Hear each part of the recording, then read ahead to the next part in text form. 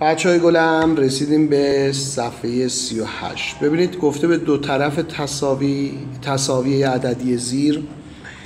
عددهایی را مانند نمونه اضافه کنید. آیا باز هم تصاوی برقرار است؟ ببینید منظورش اینه. چهار. دو طرف تصاوی چهار داریم. خب چهار به علاوه سه چهار به علاوه سه با هم مساوی هم دیگه. حالا اینجا چهار داریم. چهار منهای هفت با چهار منهای هفت قاعدتا میشه منفی سه. مساوی منفی سه و با هم برابرم. این طرف تصاوی چهار به علاوه یک و نیم میشه پنج و نیم اونورم میشه پنج و نیم پس با هم برابرن. این طرف تصاوی رو ببینید. داریم چی؟ چهار منهای دو سوم. مساوی چهار منهای دو سوم. که قاعدتا میشه سه و یک سوم اون طرف تصاوی هم میشه یک سوم. سه و یک سوم. حالا میگه چه نتیجه می‌گیرید؟ نتیجه ای که می‌گیریم این هست که به دو طرف تصاوی میشه عددی را اضافه کرد یا کم کرد. پس لطفا من آروم میگم که بنویسید. به دو طرف تصاوی عددی را می‌توان اضافه یا کم کرد. سوال دو میگه دو طرف تصاوی زیر را در عددهای مختلف ضرب کنید. آیا باز هم تصاوی زیر برقرار است؟ ببینید 8 رو داریم با 8 3 هشتا بازم 3 هشتا.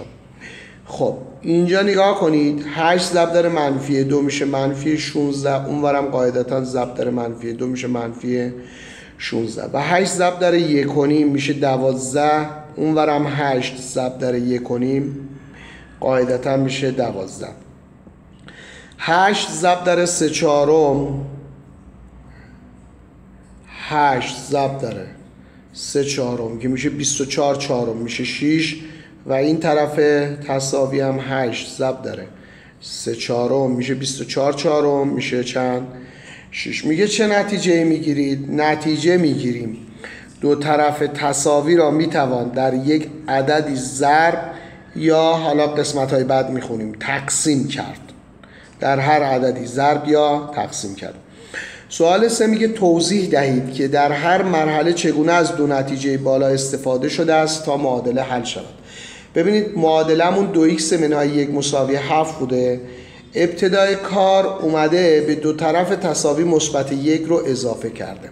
قاعدتا منفی یک با مثبت یک ساده شده یعنی صفر شده فقط این ور تساوی مونده دو ایکس. بعد هفت به علاوه یک هم شده چی؟ هشت. یعنی ما به دو طرف تساوی یه دونه مثبت یک اضافه کردیم.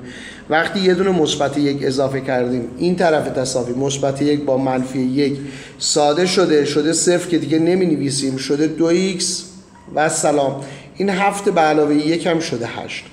حالا اومدیم چیکار کردیم؟ دو طرف تساوی رو در یک دوم ضرب کردیم.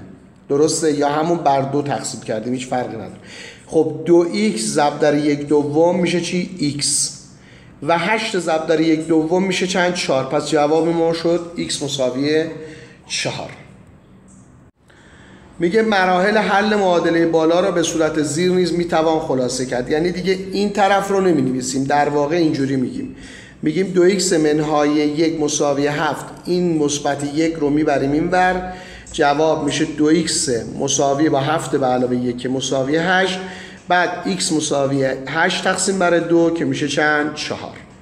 خب قسمت کار در کلاس گفته معادله های زیر رو حل کنید. نگاه کنید منفی هشت مساوی با دو ایکس به علاوه چهار. کافیه شما منفی هشت رو منهای چهار کنید یعنی چهار رو بیارید این بر اصطلاحا میگیم معلوم یه طرف مجهول یه طرف. مساوی دو ایکس.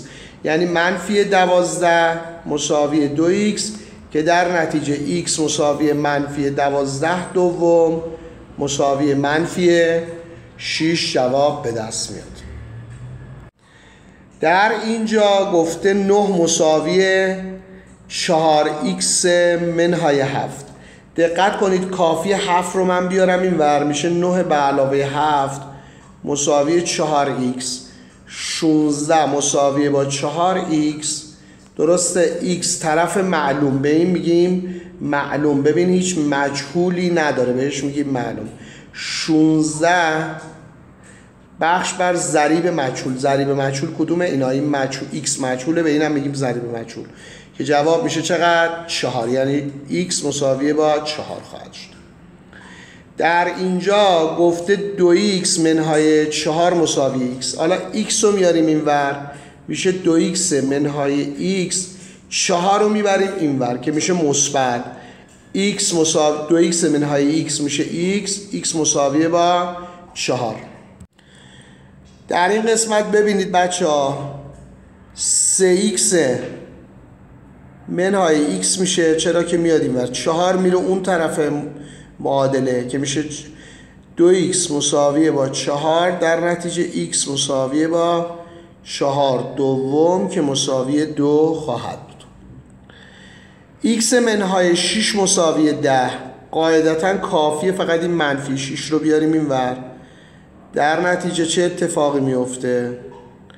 x مساویه با ده به علاوه 6 x مساویه با 16 و معادله آخر 3 به علاوه 4 x مساوی 11 ببینید کافیه ما بگیم 4 x این ور نگر میدارم.